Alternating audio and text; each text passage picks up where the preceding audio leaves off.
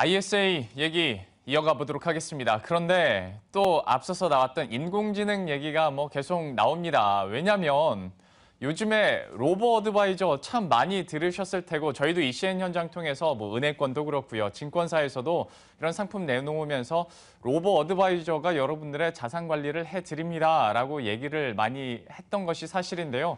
아직까지는 뭐 저도 그렇고요. 여러분들도 이렇게 실체를 확인하거나 감이 쉽게 오진 않을 것 같습니다. 그래서 오늘 이 부분에 대해서 중점적으로 얘기를 나눠 보도록 할 텐데요.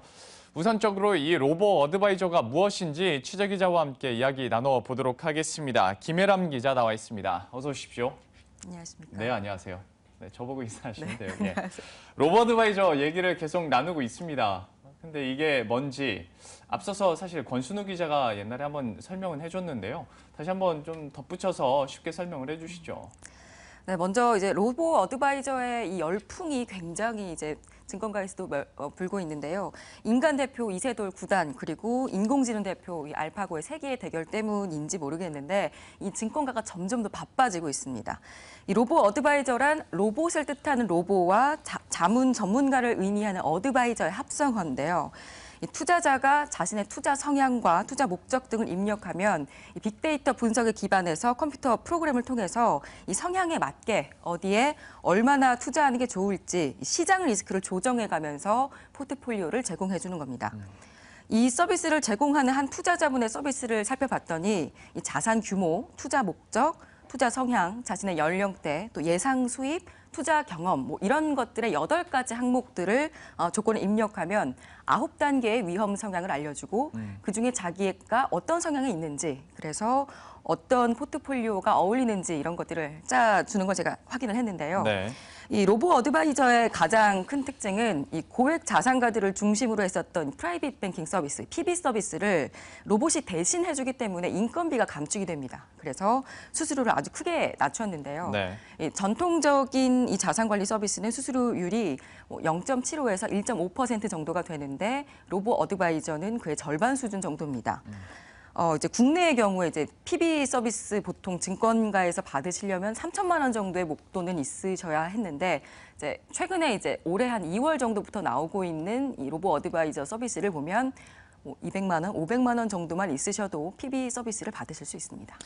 말이 3천만 원이지 솔직히 3천만 원 들고 가서 저 자산 관리 개인적으로 해주세요 하면 약간 민망한 것이 아직도 분위기긴 한데요.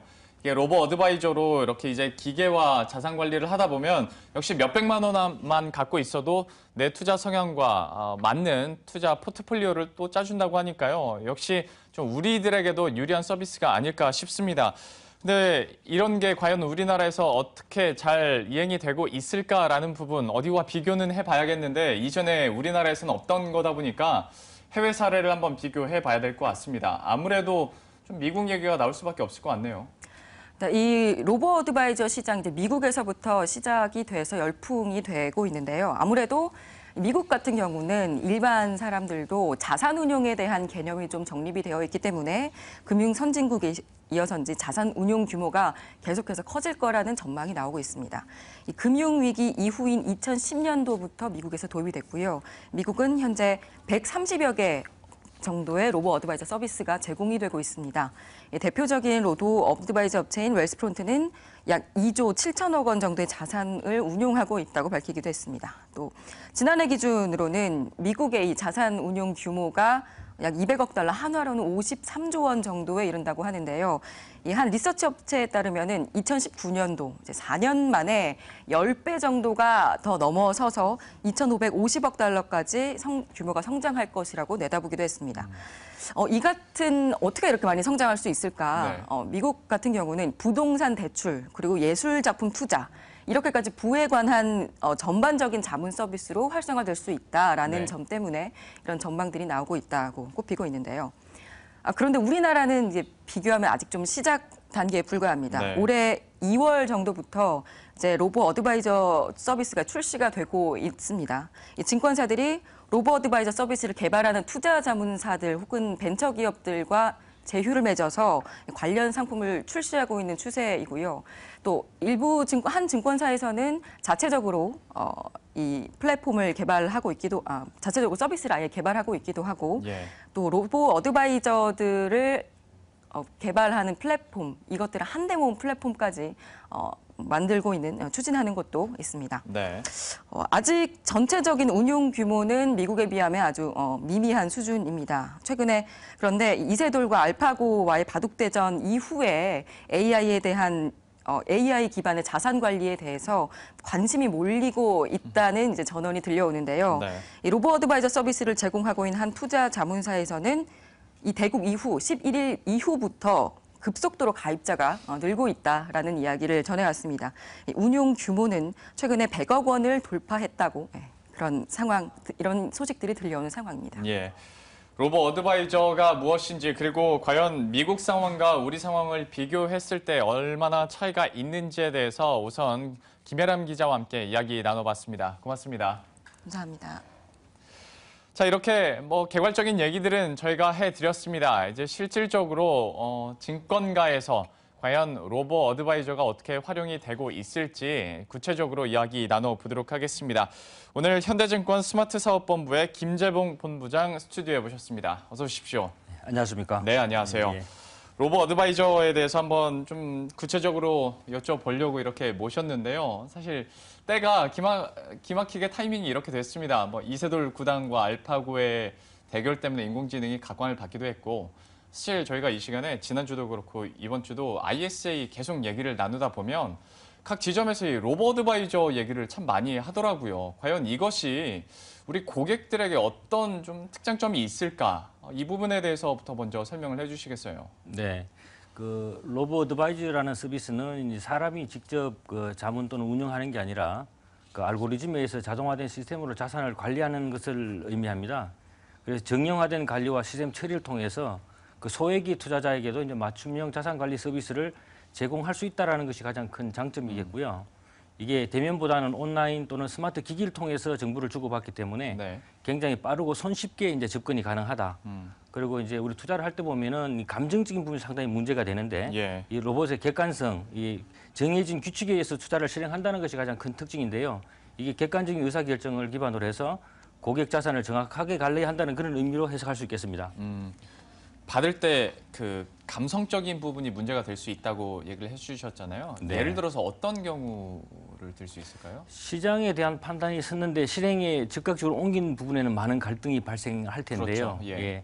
이 부분은 이제 알고리즘에서 진행이 되다 보니까 그런 아하. 감정을 배제해서 예. 정확하게 이제 실행이 되는 어떤 그런 부분이 어떤 결과를 좀 좋게 만들 수 있는 어떤 그런 부분이 아닐까 이렇게 볼 수 있겠습니다. 어떤 뭐 시류에 편승되거나 뭐 감정에 치우치는 것이 아니라 객관적으로 내 자산 관리와 내 상황들을 좀 점검을 해준 다음에 포트폴리오를 짜다 보니까 아무래도 조금 더 어찌 보면 안전할 수 있겠다라는 생각이 더 드는 것 같아요.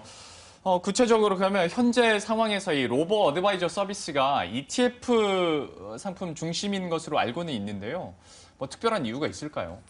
그 일반 펀드 같은 경우는 이제 매수하거나 환매를 할 때 약 이틀 이상 정도의 시간이 소요가 됩니다. 네. 근데 ETF는 이제 거래소를 통해서 실시간으로 거래가 되기 때문에 변화되는 시장에 대해서 굉장히 빠르게 이제 대응을 할 수 있다라는 것이 장점이 될 수 있겠고요. 예. 이게 주식, 채권뿐만 아니라 이게 원자재, 환율, 부동산 이 모든 자산에 관련해서 투자가 가능하다는 어떤 그런 장점이 있습니다. 그리고 이제 레버리지, inverse, 변동성 투자 같이 다양한 투자 전략을 수립, 수립하기가 굉장히 좋고요. 또 ETF는 수수료가 싸기 때문에 이 저비용 구조의 자산 서비스 robo advisor에 아주 잘 맞는 그런 상품이라고 볼 수 있겠습니다. 음, 펀드가 아니라 ETF에 현재 중심이 되고 있다는 설명을 듣다 보니까 또 궁금증이 하나 생기는 게요. 그렇다면 이제 향후에 주식 쪽으로도 robo advisor 서비스가 가능하다고 보십니까? 목적에 따라서는 주식의 가장 그 설정한 목표에 가장 적합한 주식을 선정할 수 있는 기능도 충분히 가능합니다. 예, 아무래도 좀 실시간으로 했을 때 로버 어드바이저가 강점을 받을 수 있어서 펀드 쪽보다는 ETF 쪽에 현재 더 중심이 되고 있는데 향후에 역시 목적 여하에 따라서는 음, 주식 쪽으로도 전략을 세웠는데 로버 어드바이저의 도움을 받을 수 있지 않을까 싶습니다.